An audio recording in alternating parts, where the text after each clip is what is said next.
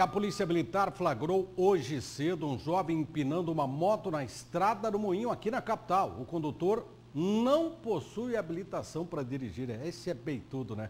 O resultado você acompanha na reportagem de Antônio Carlos Silva.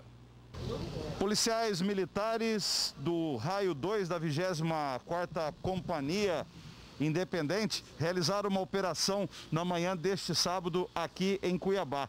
Eles automaticamente após essa operação vieram aqui para o registro da ocorrência no plantão no CISC Verdão. Nós vamos conversar com o cabo que está comandando aqui essa operação. A equipe Raio 02 procedia ao moto patrulhamento tático na região da Avenida Moinho, quando se deparou com um indivíduo que estava realizando manobras perigosas com sua motocicleta.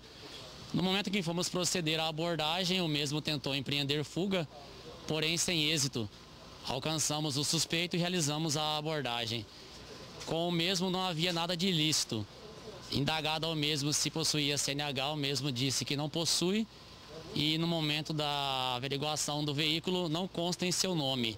A checagem consta em nome de terceiros e o mesmo não tem documentos para apresentar. E ele estava com direção perigosa, então, empinando o veículo? Sim, empinava a moto, trazendo risco à sua segurança e dos demais usuários da via pública. O moto patrulhamento tático oportuniza esse tipo de abordagem, onde dificilmente uma viatura quatro rodas teria acesso a uma motocicleta com essa potência.